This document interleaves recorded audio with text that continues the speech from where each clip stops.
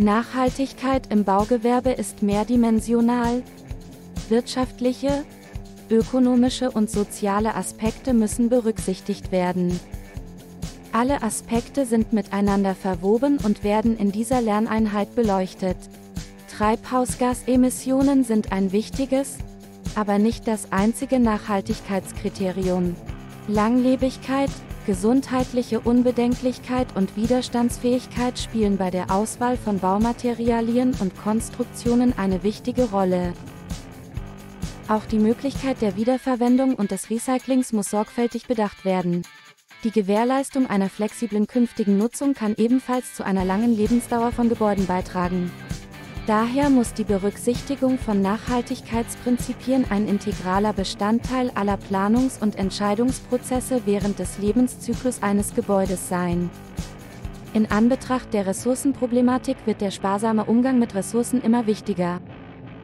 Einige wichtige Ziele für Nachhaltigkeit im Baugewerbe sind Verantwortungsvoller Umgang mit Baumaterialien, verantwortungsvoller Umgang mit Wasser, verantwortungsvoller Umgang mit Energie, verantwortungsvoller Umgang mit dem Bauland und der Natur. Diese Ziele sind Teil der 17 UN-Ziele für nachhaltige Entwicklung.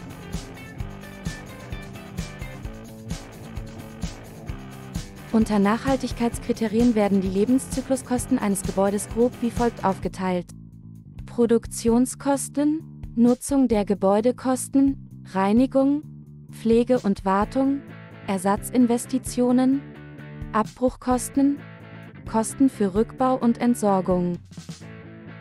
Unter Nachhaltigkeitskriterien ist die Planungsphase von großer Bedeutung.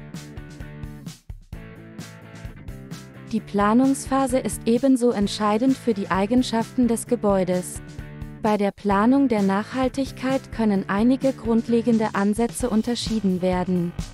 Ein Stone-Ansatz, Vergleich von Baukosten und Bauzeit. Zum Beispiel der Bau eines Kindergartens in Massiv- oder Holzbauweise.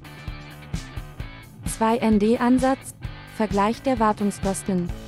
Zum Beispiel die Gesamtkosten verschiedener Bauweisen über eine Lebensdauer von 80 Jahren. 3RD-Ansatz, Lebensdauer von Bauteilen zum Beispiel die Lebensdauer der einzelnen Bauteile, Wartungs- und Pflegekosten. 4TH-Ansatz, Recyclingoptionen und Abfallproduktion. Zum Beispiel die Wiederverwendung von Holz oder mineralischen Baustoffen. 5TH-Ansatz, Treibhausgasemissionen und andere nicht quantifizierbare Kosten. Zum Beispiel bei der Herstellung und Wartung von Baumaterialien. Neben den quantitativen Aspekten gibt es auch nicht formale Punkte zu beachten, alle Umfrageteilnehmer gaben an, dass es ihrer Meinung nach kaum etwas Nachhaltigeres gibt als die Erhaltung bestehender Gebäude. Nicht nur Produktion und Bau sind für die Nachhaltigkeit relevant, sondern auch Abriss und Entsorgung oder die mögliche Weiterverwendung von Bauteilen und Materialien. Auch der Flächenverbrauch und der Materialtransport spielen im Hinblick auf die Nachhaltigkeit eine große Rolle. Bei der Planung und Detaillierung von Gebäuden sind Materialien, die in großen Mengen vorkommen, besonders wichtig. Der Energieverbrauch eines Gebäudes wird auch durch eine Vielzahl von Einflüssen in der Konstruktion bestimmt. Einige wichtige Einflussfaktoren sind Kompaktheit und Zonierung des Gebäudeentwurfs, Wärmedämmung der Gebäudehülle, Luftdichtheit der Gebäudehülle, Energieeffizienz der Kälte- und Wärmeerzeugung. Verhalten der im Gebäude lebenden Personen hinsichtlich Raumtemperaturen, Luftaustausch, Warmwasserverbrauch, passiver Solarenergienutzung, Größe der internen Wärmegewinne, Betriebsweise der Anlagentechnik. Nachhaltigkeit bezieht sich nicht nur auf die Wahl der Baumaterialien. Dennoch gibt es einen erheblichen Unterschied zwischen der Verwendung von Ziegeln, Beton oder Holz. Auch sogenannte Baunebenmaterialien wie Dämmstoffe, Boden- und Wandbelege oder Sanitärobjekte sollten unter dem Aspekt der Nachhaltigkeit nicht vernachlässigt werden.